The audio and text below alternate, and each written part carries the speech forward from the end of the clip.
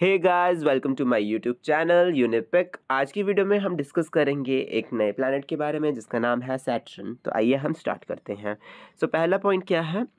Beyond the Jupiter beyond Jupiter is Saturn Jupiter के बाद क्या है? सैटर्न होता है which appear yellowish in colour its density is less than that of water तो जो सैटर्न होता है वो क्या होता है? येलोइश कलर का है और इसकी जो डेंसिटी होती है density means mass upon volume तो वो भी कम होती है, पानी से भी कम डेंसिटी होती है इसका, ठीक है?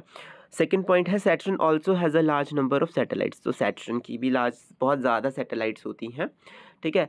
थर्ड पॉइंट है Saturn has a prominent rings that consist of nine continuous main rings and three discontinuous arcs and that is compose mostly in the ice particles with a smaller amount of rocky debris and dust तो क्या होता है, जो Saturn होता है, आप pictures में भी देख सकते हैं, इतनी सारी रिंग्स हैं सैटर्न में।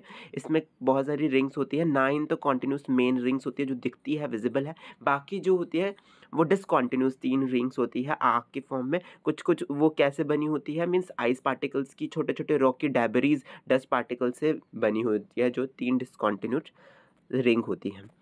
तो आई होप आपको सैटर्न से रिलेटेड सारी जानकारी मिल गई होगी। ये बेसिक इन्फॉर्मेशन थी सैटर्न के बारे में। अगर मैं आने वाली, अगर आपको चाहिए कि सैटर्न से फुल जानकारी मिले आपको तो आप मुझे कमेंट में रिप्लाई कीजिए एंड फिर मैं आपके लिए एक नई वीडियो लेके आऊँगा जो कि सैटर्न से ही रिलेटेड होगी।